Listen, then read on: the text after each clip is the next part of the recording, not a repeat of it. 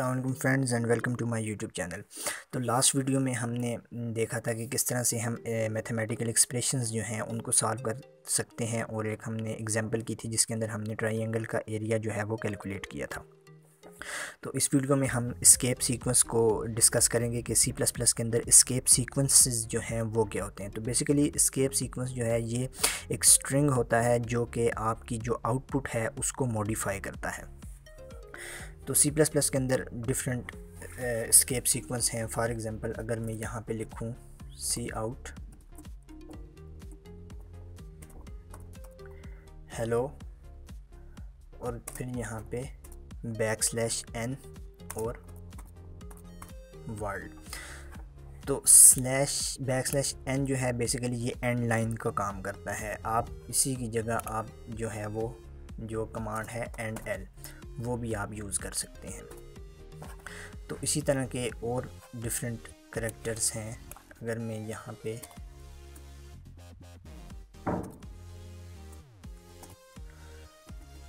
Slash N के एक और हमारे पास करेक्टर होता है स्लैश टी तो बेसिकली स्लैश टी जो है, ये क्या करेगा कि सबसे पहले हेलो प्रिंट करेगा। हेलो प्रिंट करने के बाद ये फाइव स्पेसेस फाइव स्पेसेस देगा। फाइव स्पेसेस के बाद वर्ल्ड जो है वो इंटर करेगा। तो ये जो बैक स्लैश एन है, ये पहले हेलो प्रिंट करेगा और फिर बैक स्लैश एन जो है, ये इसे नेक्स्ट लाइन पे मूव करेगा। और वर्ल्ड जो है, ये हमारे पास नेक्स्ट लाइन के ऊपर प्रिंट होगा।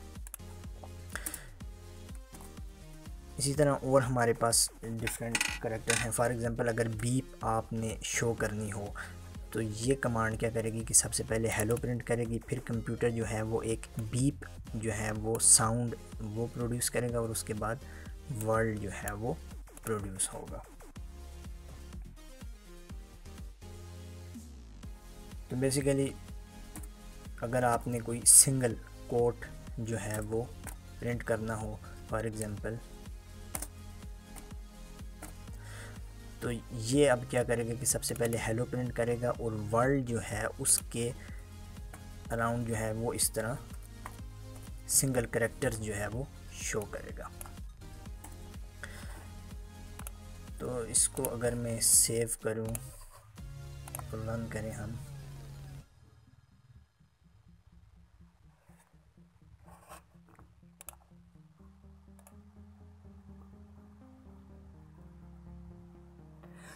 तो ये आप सबसे ऊपर देख सकते हैं कि हेलो प्रिंट हुआ है, फिर स्लैश एन था चूँकि तो वो न्यू लाइन पे शिफ्ट हुआ और वर्ल्ड प्रिंट हुआ।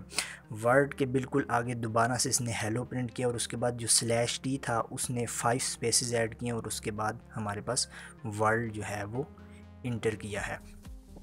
और बीप जो है वो आप अगर अपने कंप्यूटर पे इसको रन करेंगे तो आपको बीप का साउंड जो है वो भी सुनाई देगा। और लास्ट जो है वर्ल्ड के अलॉन्ग आप देख सकते हैं कि सिंगल कोट्स जो हैं वो हमारे पास शो हो रहे हैं। तो बेसिकली ये स्केप सीक्वेंस हैं। इसमें जो ज़्यादा मोस्ट फ्रीक्वेंटली यूज्ड होने वाले स्केप सीक्वेंस हैं वो ये दो ही हैं। ये दो आपको लाजमी पता होने चाहिए back slash n and back slash t